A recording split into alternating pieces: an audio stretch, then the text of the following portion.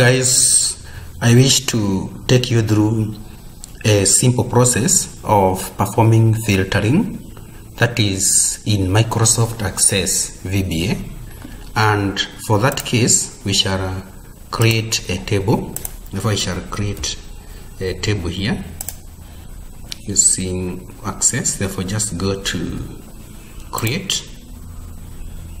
Create here then table design. We just create the ID number then the you can talk about the voter the voter the voter name the voter name then you want to have the contestants like for example we have uh, Peter we have James we have Benson we also have somebody like Joyce we have Paris we have Berinda. Therefore these are the contestants and therefore for that case this is yes no yes no yes no yes no yes no. And also you can add another one guy here done uh, also this one is yes no. So this is the primary key this is the primary key. Then I just save this uh, save this one as voters then after doing that I just go to this. Therefore this is how the design will look like. Then we just go and get some guys from Microsoft Excel. Therefore I have some data here. Therefore I just need to copy this copy this data. Then just uh, have this data pasted for me here. Good. There we are ladies and gentlemen. Therefore these are the list of our voters and their ID number and these are the contestants. Therefore these guys will be uh, ticking like that. Therefore will be ticking the guy they vote. And at the long run we shall filter uh, uh, people or these contestants using VBA and therefore for that case let me just populate a, a form. Just go to create. Then you go to form wizard then we just send everything to the right hand side. Next tabular next finish. Then let's just have that one done for us. There we are ladies and gentlemen. We just needed to adjust a bit. Just adjust these ones a bit so that they can have uh, some space. If we can have this one. The first guy here just have that one you can have the second one. Let's just adjust that so that you can see exactly what I want to uh, show you. Then you have this other person Joyce and her button there. This is Benson then you can just adjust these ones. And just adjust these ones. So this one is Peter and then you have James. James there. Then after doing that uh, ladies and gentlemen this one can be reduced to that then we can just uh, format this one to be vivid. That way cool.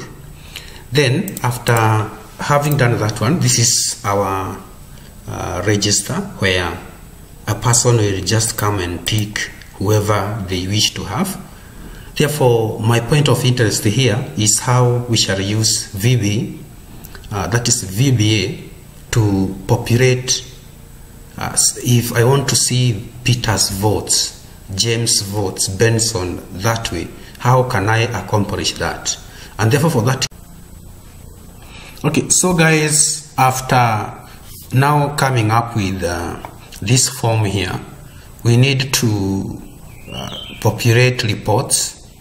We want to populate report to see voters who voted for uh, uh, individual guys here and therefore what you need to do is to uh, you need to to actually create another query here. Create then you go to uh, query query wizard.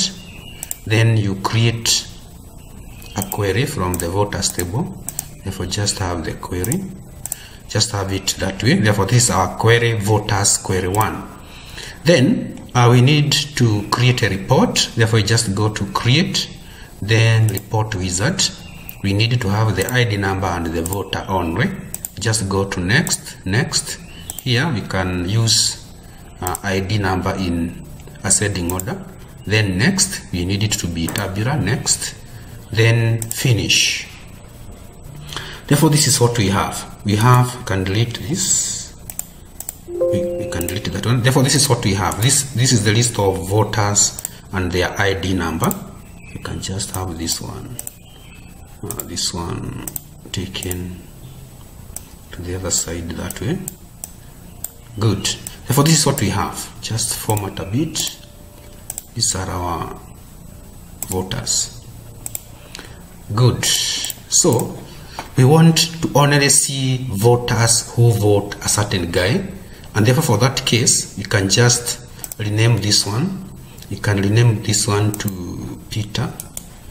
For example this one you can just rename this one to Peter list. Then copy paste. Then this one can be Berinda uh, paste another one. Then this one is for Dawn you can use those ones so uh, we shall introduce a code we shall introduce a code here. This code is called me.filter equals to the field and the condition. and therefore I copy this code that one. Then I go to one of my reports like Berinda right click go to design view. Then go to property sheet here. Then event. Then you go on road here on road event. That is on road event. Here on road event hit the three dots then paste the code here. Therefore this one changes to Berinda. Berinda. We are filtering Berinda with which condition yes. The condition is yes. This field since it's text it's good to encross it there.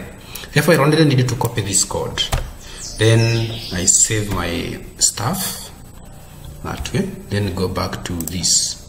Therefore if I run this one so far there is no voter who has uh, voted Berinda and therefore I need to go to the voters uh, form and vote. Therefore there are these guys who have, have voted Berinda those ones. Those are the guys who have voted Berinda. And therefore for that case if you refresh this and cross then open Berinda. There we are ladies and gentlemen. You'll notice that these are the guys who have voted for Berinda.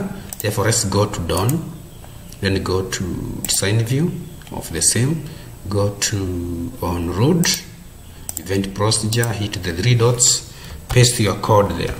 And then change this one to Dawn this is Dawn you want to see those ones who uh, voted for Dawn and therefore we save that one and uh, execute.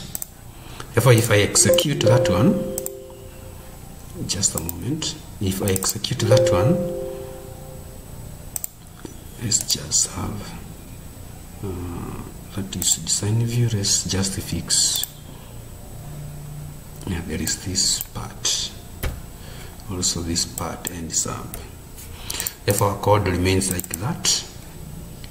So that um, uh, so that when we, we go to our system and open it